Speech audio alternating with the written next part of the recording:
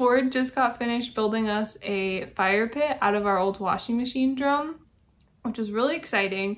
So I thought it'd be fun to try to narrate his build process. Let's get started. Okay, we're starting off with the drum.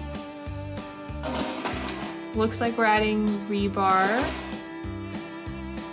and other metal pieces. And those are our ingredients to make the best fire pit. So it looks like Ford is starting by cleaning off the rebar, because I'm assuming it's salvage rebar that he found. Looking good.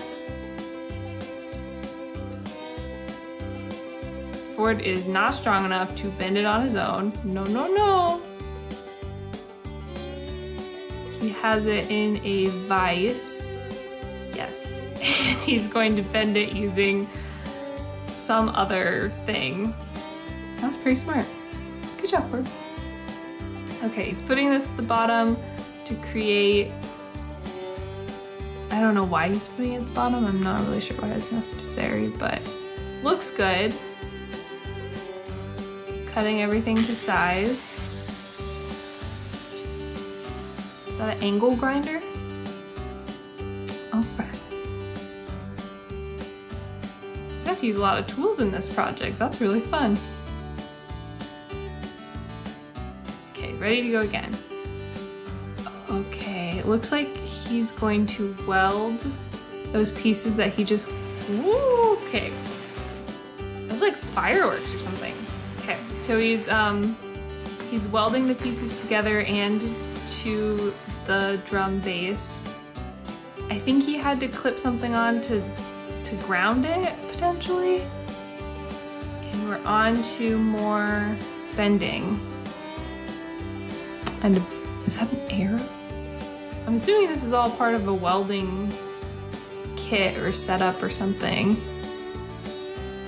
Oh, he's making feet. Okay, so he's grounding it again, I'm assuming. Holding the bar in place with the little house's arrows and welding it onto our base.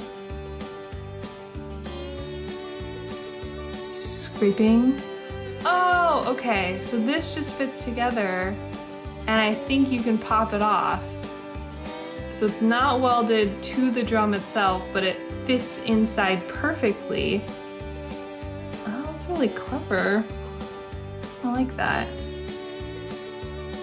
Flip it around, put it on, perfect fit, bam.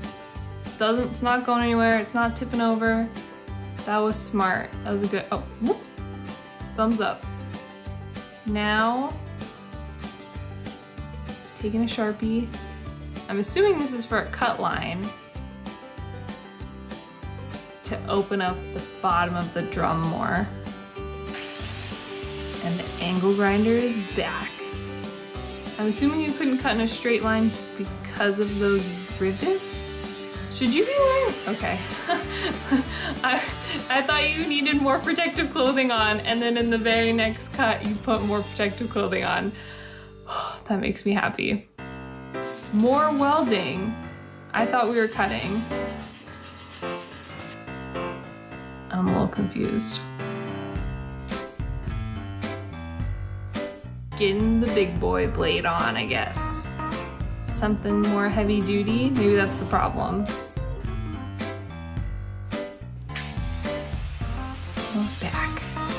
With vengeance.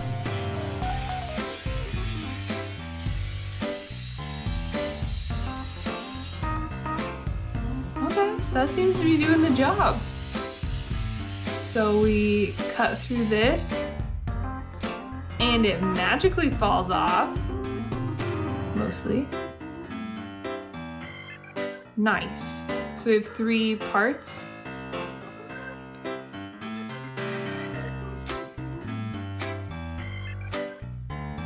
getting a different blade.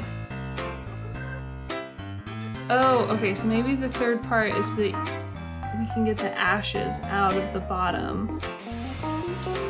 Okay, that looked really sharp, so I'm assuming you're just sanding the edges to make it less dangerous on both things, thank goodness.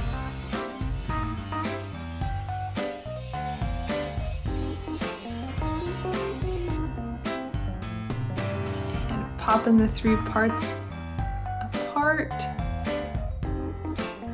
Wow, so they're all like interchangeable too because you didn't have that bottom piece down. And everything just snaps into place. Nice.